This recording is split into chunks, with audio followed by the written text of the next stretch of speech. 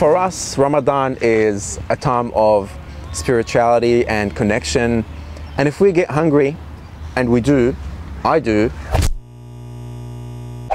then it's nothing compared to what people around the world go through.